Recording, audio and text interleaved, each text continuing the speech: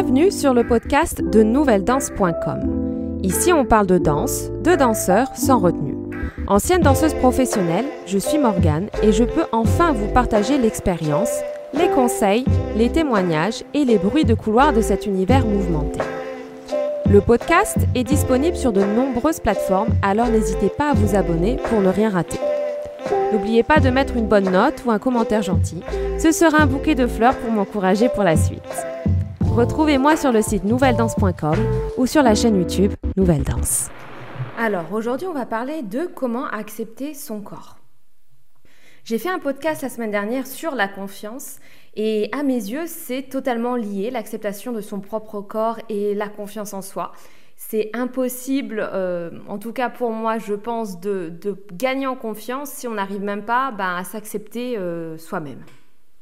Ce que je remarque énormément, et surtout je trouve en danse classique plus particulièrement comparé aux autres styles de danse, c'est qu'on pense que par exemple le classique c'est réservé uniquement euh, à un style de physique, très longéline, voire maigre, avec une certaine forme de jambe, etc.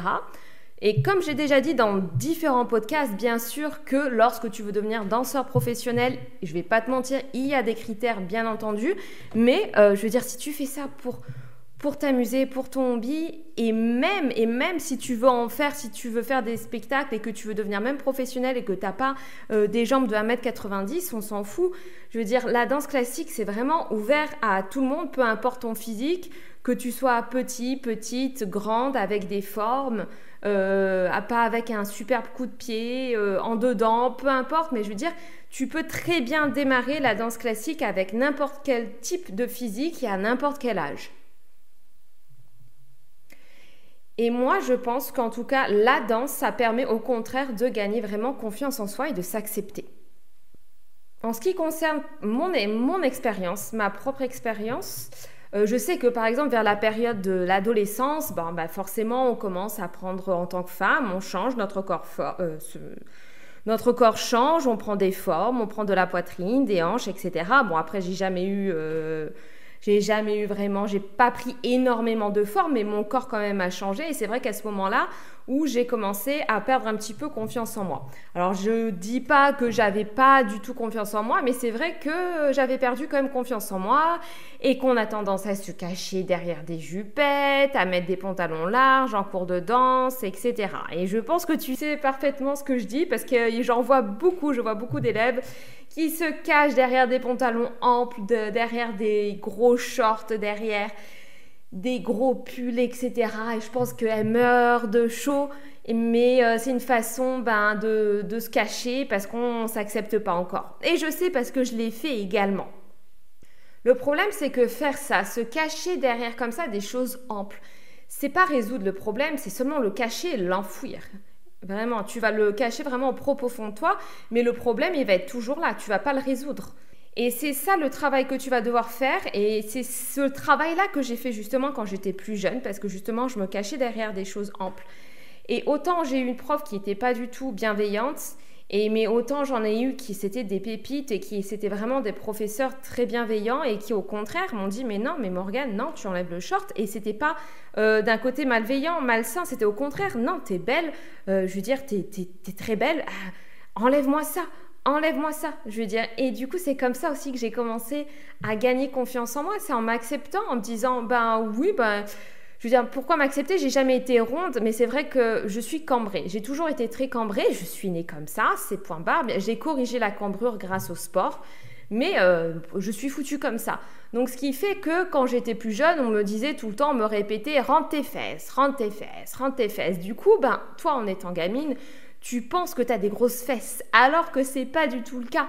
Parce qu'il y a certains, certaines personnes qui savent pas trouver les mots et que dire cambrer et rendre tes fesses, ça veut rien dire et qu'en étant gamin, eh ben, tu peux le prendre, tu peux mal l'interpréter.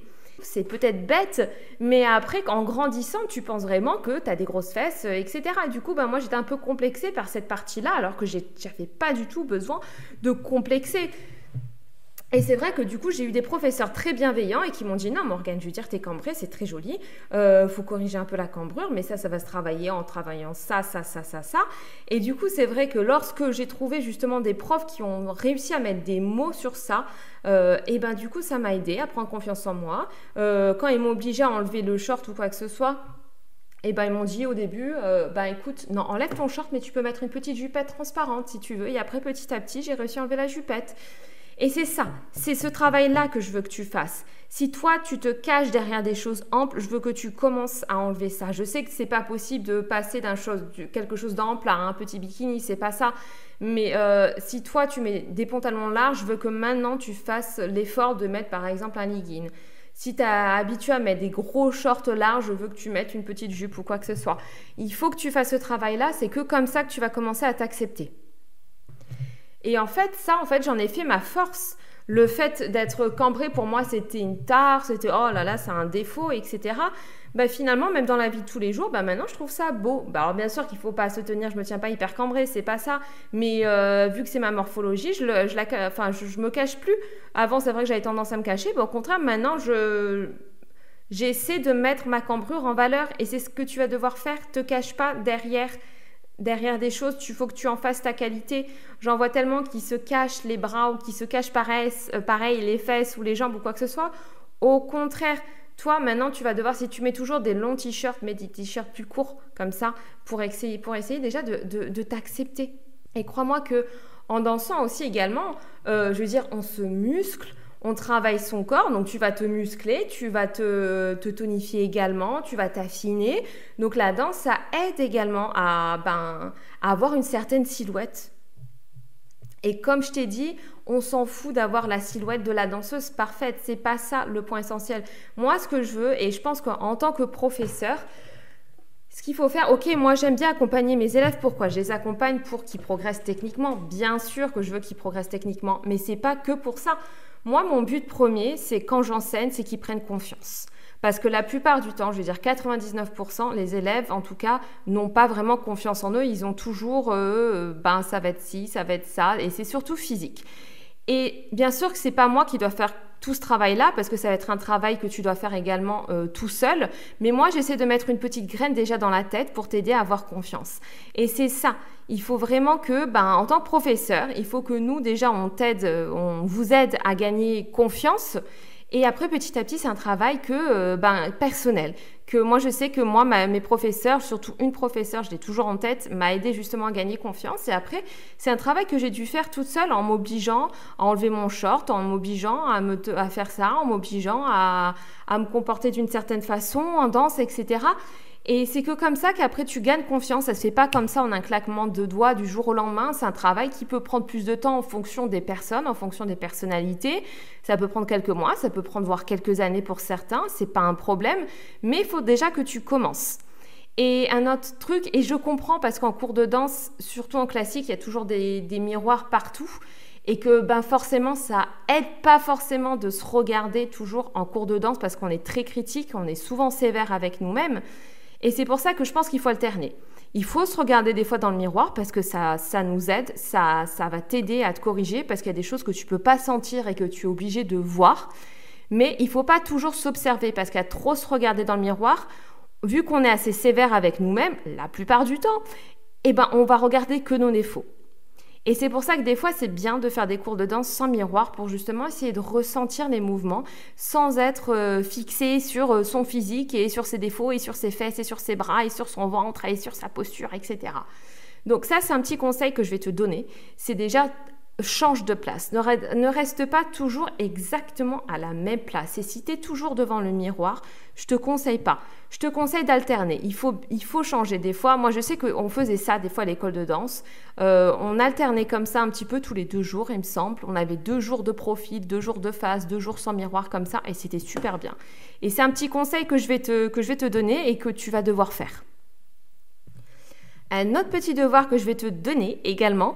Euh, la dernière fois, je t'avais demandé de noter des choses et je veux que tu fasses pareil également. Sauf que je veux que tu m'écrives, tu me fais un petit tableau ou peu importe, ou sans tableau, tu prends une feuille, tu écris quelque chose et tu vas noter tes qualités, ce que tu aimes physiquement chez toi et ce que tu n'aimes pas. Je sais que comme d'habitude, la liste sera toujours plus longue sur les choses qu'on n'aime pas chez soi physiquement, mais je veux, et ça va être, je vais t'obliger, tu es obligé de noter tes qualités. Faut que tu te complimentes. Il faut que tu saches quelle partie de corps on a tous une partie qu'on aime chez soi. Et ça ne veut pas dire être arrogant, être arrogante, pas du tout. C'est, il faut vraiment que tu notes ce que tu aimes chez toi physiquement. Il faut que tu mettes des mots sur ça. Il faut que tu t'obliges à le dire oralement.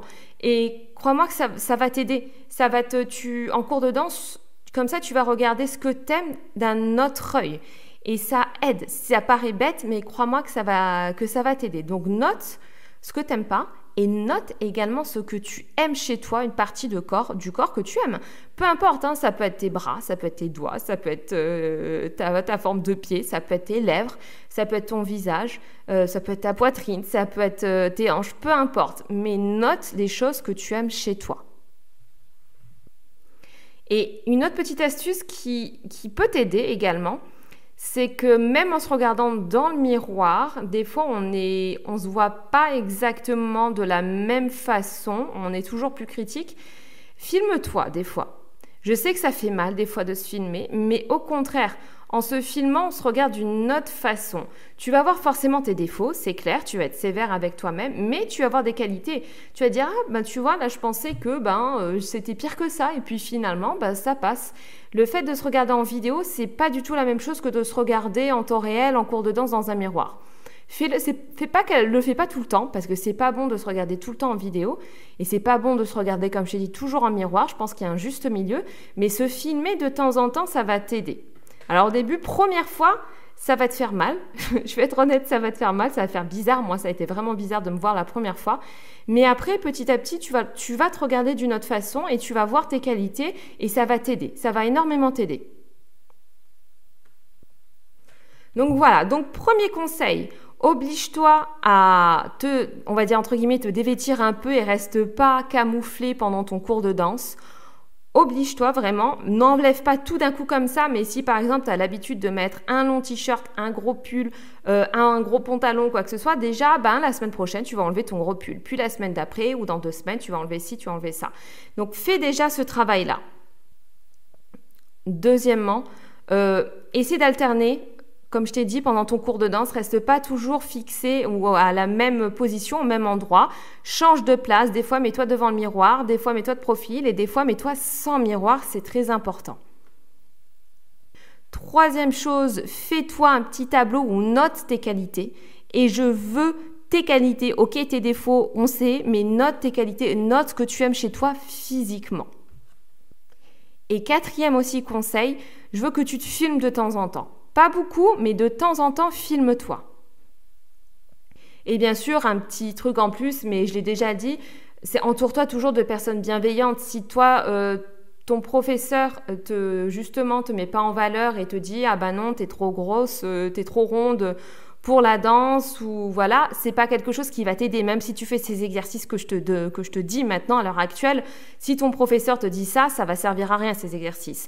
Donc, faut toujours que tu t'entoures de personnes, de professeurs bienveillants qui vont t'aider, qui vont t'aider à justement à faire cette démarche et même communique, communique avec ton professeur. Si c'est quelque chose qui qui te dérange, t'arrives pas à t'accepter, etc., faut que tu en parles à ton professeur. Enfin, faut que tu saches que nous, professeurs, on, est ouvert à la discussion. Tu peux rester un petit peu plus longtemps à la fin de ton cours et parler avec, avec ton professeur pour en parler. Et comme ça, elle va comprendre et elle va t'aider également. Si en fait, euh, si les élèves, si tu ne parles pas, si tu ne communiques pas avec ton professeur, comment le professeur peut le deviner? Alors bien sûr qu'on peut le deviner un peu, mais si c'est vraiment un mal-être profond, que tu as vraiment du mal à t'accepter, nous, en tant que professeurs, des fois, c'est difficile de tout deviner. Donc c'est vrai que la communication, c'est un petit conseil en plus que je vais te donner, mais la communication, c'est très important et n'hésite pas à communiquer avec ton professeur. Donc voilà, j'espère que ces petits conseils et ces astuces vont t'aider ben, pour accepter ton propre corps et pour prendre confiance, parce que c'est très important pour lâcher prise et surtout pour ta progression, que ce soit ta progression technique, artistique et également pour euh, te faire plaisir en dansant, parce que je pense que si tu t'acceptes pas, tu pourras pas gagner en confiance et tu vas rester bloqué, tu pourras pas prendre un, réel plaisir en dansant. Donc j'espère euh, bah, t'aider euh, dans ce podcast avec ces conseils.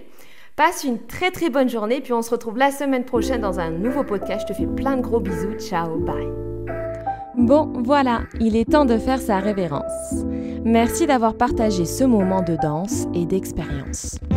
Le podcast est disponible sur de nombreuses plateformes, alors n'hésitez pas à vous abonner pour ne rien rater. N'oubliez pas de mettre une bonne note ou un commentaire gentil, ce sera un bouquet de fleurs pour m'encourager pour la suite. Retrouvez-moi sur le site nouvelledance.com ou sur la chaîne YouTube Nouvelle Danse.